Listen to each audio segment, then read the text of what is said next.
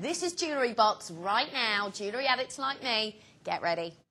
Hello, it is Sunday night. I'm Lindsey Gundersen. You know, of course, my favourite subject in the world is jewellery. This is our jewellery extravaganza, and it is not to be missed. And it is now time for our Valentine's Day jewellery extravaganza. Are you feeling glamorous? Are you feeling ready to get yourself completely encrusted with gemstones and jewels and diamonds? We're going to be pulling out the drawers and the vaults of our most prestigious pieces and doing our highest quality and calibre pieces at the lowest prices. So if you haven't bought your Valentine's Day a very special present yet, you're in the right place. Uh, if you haven't bought anything for yourself in a while, ladies, again, you're in the right place. We've got everything from diamonds to gold to sterling silver to amethyst quarter past 10 is my pick of the day, my personal pick of the day, which is tanzanite, uh, one of the most collectible gemstones of right now.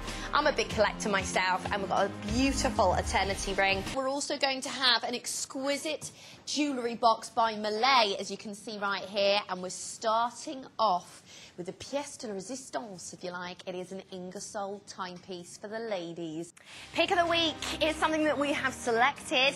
Uh, usually it's something of a very high calibre and quality that we can do for a very low price. So uh, most of the jewellery we've got today is in sections. As I said, we've got exclusively his. We've got blue diamonds. We've got the Italian Mille Fiori Murano collection. We've got inspirations. We've got tanzanite. We've got garnet. Uh, but we will be starting off with pearls. Now, my first hour is going to be jewellery, and I have some beautiful pieces to show you. In fact, I've got two luxury diamond rings. Look at these sparklers. That is my Diamond Boulevard Hollywood lace and my Princess Cut sparkler, both of which I will be kicking off with in Jewellery Box in just a moment. We have a set here of Mille Fiori hand-blown Italian Murano glass. But I want to show you the exquisite collection that we got coming up today in Jewellery I have diamonds galore. Let's have a closer look at this because this is incredible. Exquisitely detailed and designed. It's actually designed by, of course, Rennie Mackintosh, the artist, and it's set in a rose gold tone. It's absolutely beautiful, and it's up next.